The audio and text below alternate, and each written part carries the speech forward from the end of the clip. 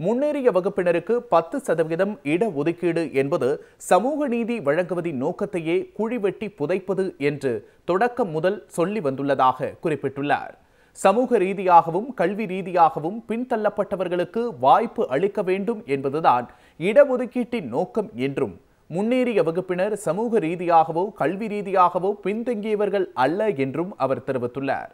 ஒன்றிய அரசின் அதிகாரத்தை பயன்படுத்தி முன்னேறிய வகுப்பினருக்கு பயன்படும் வகையில் ஒரு சட்ட திருத்தத்தை அவசர கோலத்தில் நிறைவேற்றப்பட்டதாகவும் இதன் காரணமாக பழங்குடியின மக்களை விட குறைந்த மதிப்பெண் பெறும் முன்னேறிய வகுப்பினருக்கு கல்வி வேலைவாய்ப்பில் அதிக இடங்கள் கிடைத்து வருவதாகவும் விமர்சித்துள்ள கி. வீரமணி மாதம் அறுபத்தாறாயிரம் ரூபாய் சம்பாதிக்கின்ற முன்னேறிய வகுப்பினர் ஏழைகளா? என்றும் கேள்வி எழுப்பியுள்ளார்.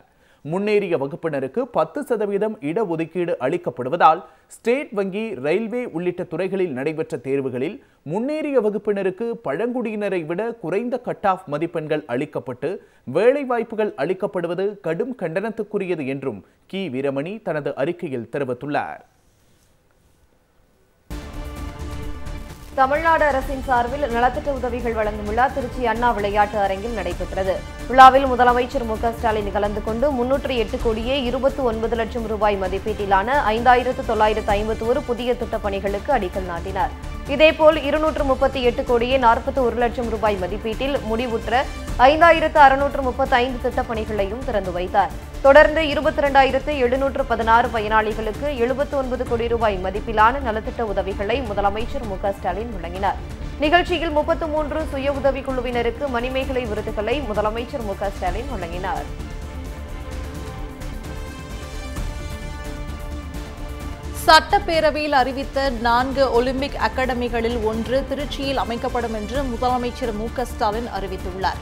திருச்சியில் நடைபெற்ற அரசு நலத்திட்ட உதவிகள் வழங்கும் விழாவில் உரையாற்றிய முதலமைச்சர் மு ஸ்டாலின் தமிழ்நாட்டில் திமுக ஆட்சி அமைந்த பின்னர் தொழில்துறை மிகவும் வேகமாக வளர்ந்து வருவதாக தெரிவித்தார். திமுக ஆட்சியில் அறிவிக்கப்பட்ட மக்களை தேடி மருத்துவம் திட்டத்தின் மூலம் கடந்த ஓராண்டுகளில் ஒரு கோடி நபர்களுக்கு வீடு தேடி சென்று சிகிச்சை அளிக்கப்பட்டுள்ளதாகவும் இது மிகப்பெரிய சாதனை என்றும் அவர் பெருமிதம் தெரிவித்தார். திராவிட மாடல் அரசு அனைத்து தரப்பு மக்களுக்கும் எல்லா உதவிகளையும் செய்து வருவதாக கூறிய முதலமைச்சர் மு ஸ்டாலின் திமுக ஆட்சி அமைந்த பின்னர் பெண்கள் முன்னேற்றத்திற்காக நிறைவேற்றப்பட்டுள்ள திட்டங்களை பட்டியலிட்டார். தமிழர்களையும் தமிழ்நாட்டையும் செழிக்க வைப்பதே திராவிட மாடல் ஆட்சியின் நோக்கம் என்றும் அவர் கூறினார். புதிய தொழில் முதலீடுகளை ஈர்ப்பதில் இந்தியாவிலேயே தமிழ்நாடு முதல் மாநிலமாக உள்ளதாக முதலமைச்சர் மு ஸ்டாலின் பெருமிதம் தெரிவித்தார். தமிழ்நாட்டில் நடைபெறுவது மக்களின் ஆட்சி என்றும் முதலமைச்சர் மு ஸ்டாலின் தெரிவித்தார்.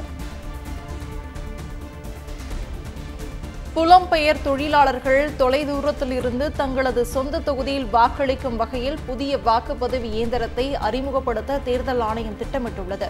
இது தொடர்பாக வருகின்ற பதினாறாம் தேதி அனைத்து அரசியல் கட்சிகளுக்கும் செயல்முறை விளக்கம் அளிக்க அழைப்பு விடுக்கப்பட்டுள்ளது.